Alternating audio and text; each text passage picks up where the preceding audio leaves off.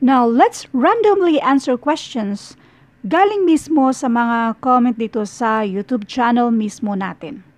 Tatlong uh, mga number series ito. But before we will start, para sa mga bago pa sa channel ko, ito yung FB natin. Ito naman yung FB group, Philippine Civil Service Review for All kung saan pwede kayong pumunta sa files ng grupong yan para ma-download nyo directly yung mga libreng printable na reviewers. Otherwise, kung willing kayong maghintay, pwede kayong mag-PM sa akin, isend nyo yung email nyo at i-send ko lahat yung mga libreng printable na reviewers. Kung gusto niyo na para sa civil service exam, i-mention nyo lang yung civil service exam kung pang AFSAT or kung pang ano man yan. So, i-mention nyo lang. Ito naman yung iba pang mga FB groups na lagi nating tinatambayan at mga FB pages natin na posibleng makatulong sa inyo. Now, for more examples sa mga number series, ganito yung pag-search nyo. Number series, wait. Number series, tapos, idugtong nyo yung Lunalin para ma-sort out lahat ng mga dati na nating na-upload. Otherwise, pwede nyo idugtong yung word na lumabas kasi marami na tayong na-upload na dati ng actual na lumabas sa mismong exam. Kung ano mang exam yon makikita nyo sa mga dating videos natin kasi minimension ko doon. Pero ito yung lagi kong inuulit never memorize the answer, kundi yung paraan kung paano sagutan. Katulad ng number series, kung paano sagutan yung number series, kung paano hanapin yung pattern. Huwag niyong i-memorize yung sagot kasi hinding-hindi yan nakakatulong. Anyway, dito na tayo sa unang tanong niya na ano nga ba yung sa next four terms dito sa 27, 22, 17, at 12. Ano naman kaya yung next dito? When it comes to number series, tawagin natin tong number series or whatever you call this number sequence. Meron na tayong dating na-upload sa mga tips kung paano sagutan yung mga ganito. Just see description ng video ito para sa mga tips at yung mga iba pang mga examples. Unang-una, paano hanapin yung pattern? Una mong gawin ay kunin mo yung difference nila. Kapag hindi magawa sa difference, kung kung diretsong bagsak siya, pwedeng mag-divide ka or or kung diretsong nag-up siya, pwedeng mag-multiply ka. Ngayon, dahan-dahan kasi ito. So, malaking posibilidad na mag-minus lang tayo, kunin lang yung difference. 27 minus 22, and that is obviously 5. So, therefore, mag-minus tayo ng 5 sa 27 para maging 22. Itong si 22, try natin. Anong difference dyan? 5 din. So, nag-minus tayo ng 5 sa 22 para maging 17. Si 17, kung minusan natin ng 5, that is equals to 12. Meron tayong common difference. Kapag merong common difference, yan ay arithmetic sequence. For more examples about arithmetic sequence, search nyo, write nyo yung arithmetic sequence, idugtong nyo yung Leonalin para ma-sort out lahat ng mga dati na nating na-upload regarding sa arithmetic sequence. Pagpatuloy natin.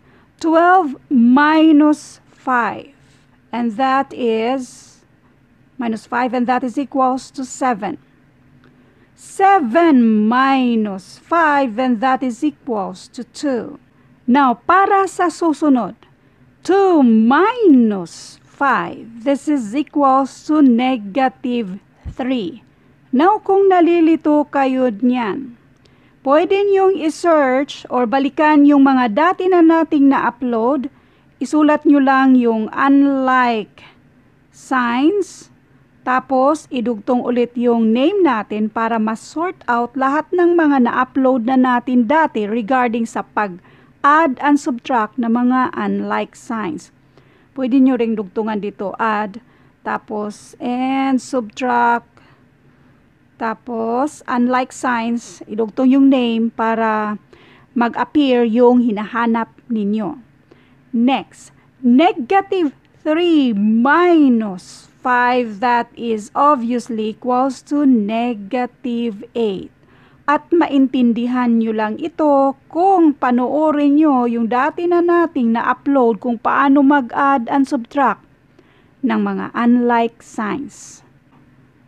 Pero simplihan lang natin yung pagpaliwanag uh, dito. 2 minus 5. Mangutang ka ng lima, pero mayroon ka pang dalawa, so ang utang mo ay tatlo na lang.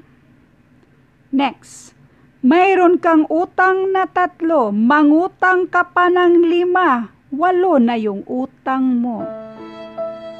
Next, dito naman tayo sa dalawang number series na yan at walang pagkakaiba yan dito sa nauna. Kunin ulit natin yung difference. Ang difference dito ay 2. So therefore, nag-minus tayo ng 2.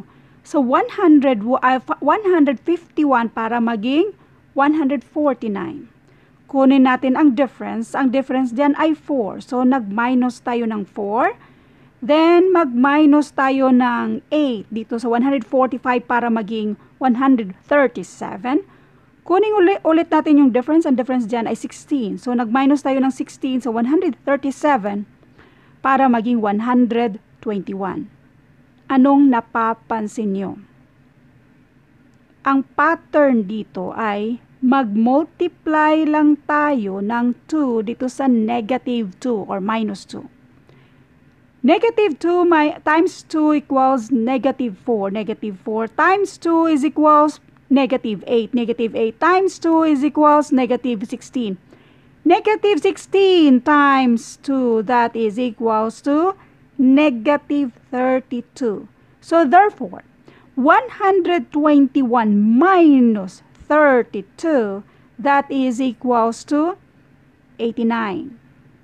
By the way, para sa mga estudyante, ang sequence versus sa series, magkaiba itong dalawa when it comes to mathematics.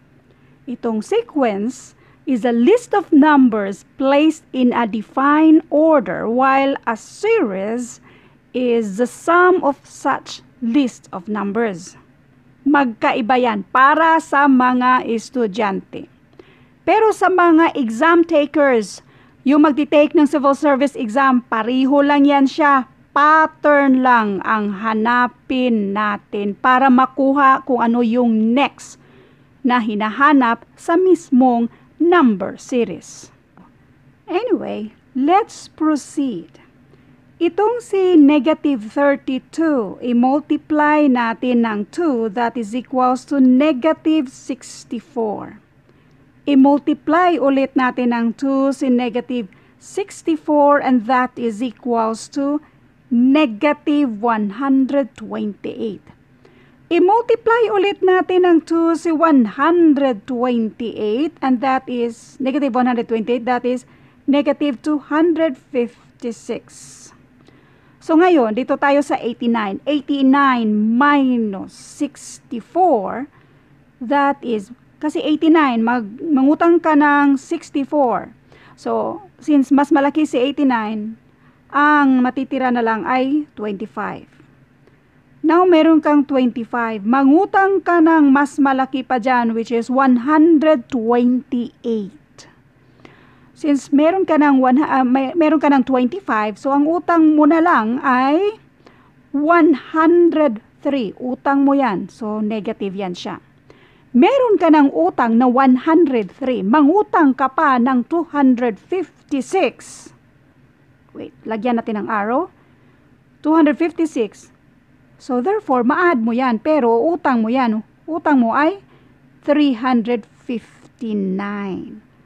Again, For more examples or para maintindihan nyo kung paano mag-add and subtract ng mga unlike signs, search nyo lang unlike signs tapos idugtong yung name natin para ma-sort out lahat ng mga dati na nating na-upload.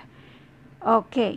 So, dito ang sagot ay magsimula sa 89. Ang next sa 89 ay 25. Ang next ay negative 103. Next ay negative 359. Dito naman, 100 paano naging 78, paano naging 54, 28, 0, ano, ka na, ano naman kaya yung next? Obviously, yung next ay magsisimula sa negative.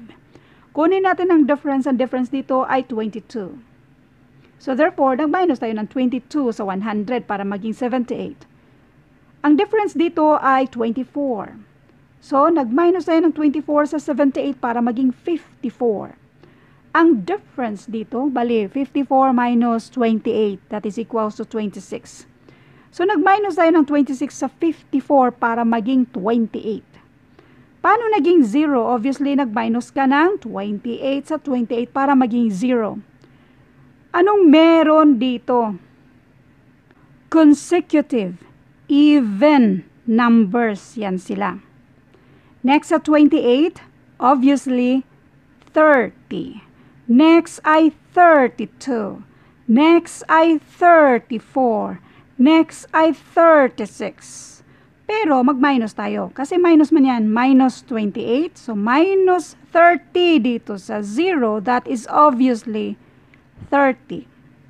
May utang ka ng 30. Mangutang ka ulit ng 32. So therefore, mag-add na yung utang mo which is 62. Negative 62. Remember, ito ay minus. So, negative 30, uh, 62 minus 34, that is equals to negative 96.